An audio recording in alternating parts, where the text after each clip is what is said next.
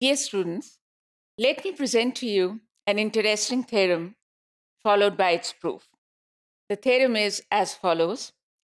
If the variance of a random variable x exists, then the expected value of x square is greater than or equal to the square of the expected value of x.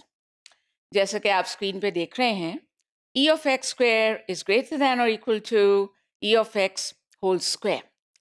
So how do we prove this one? Let us start from the variance. क्योंकि हमने कहा है ना कि variance exist कर रहा है तो उसके बाद ये बात हम कर रहे हैं तो therefore let us start from the variance. What is the basic definition of the variance? The variance of x is given by the expected value of x minus mu whole square. जैसा कि आप जानते हैं अच्छा इसी को हम इस तरह भी कह सकते हैं कि it is the expected value of x minus E of x whole square because mu is the same thing as E of x. अब बिल्कुल एब इनिशो जो फार्मूला है कि a minus B whole square को अगर हम ओपन करते हैं तो A square minus two A B plus B square उसी तरह हम इसको ओपन कर लेते हैं So therefore, uh, this expression will be equal to the expected value of x square minus 2x into e of x plus e of x whole square. उसके बाद ये जो expected expectation का जो operator है जो इस bracket के बाहर है that will attach with every term. So what will we have? It will be equal to expected value of the first term minus the expected value of the second term plus the expected value of the third term. So what is it?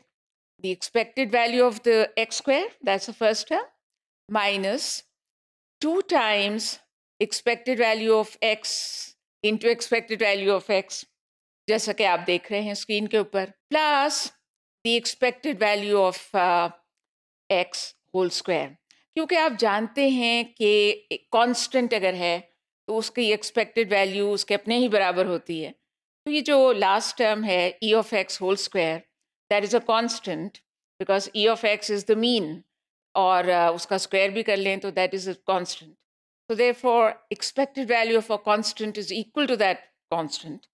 इसलिए जो मैंने कहा that is valid. All right उसके बाद उसको थोड़ा सा और सॉल्व कर लीजिए। And what do we get? Expected value of x square minus 2 times expected value of x whole square plus 1 time expected value of x whole square. तो ज़ाहिर है कि वो आप माइनस करेंगे and what you get finally e of x square minus e of x whole square.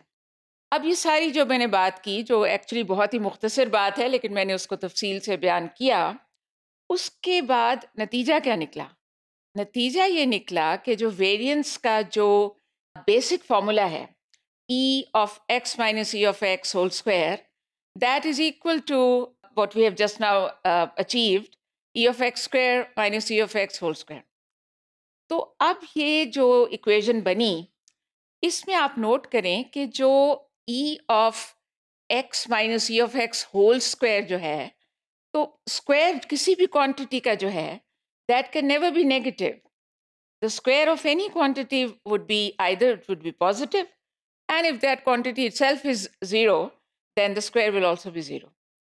तो इसलिए चूँकि वो जिस चीज़ के बराबर आ गया है हमारा E of X square minus E of X whole square वो चीज़ खुद चूँकि एक स्क्वायर का की एक्सपेक्टेड वैल्यू है इसलिए that can not be negative So therefore, the final conclusion is that we have arrived at the point where we are saying that e of x square minus e of x whole square is greater than or equal to zero.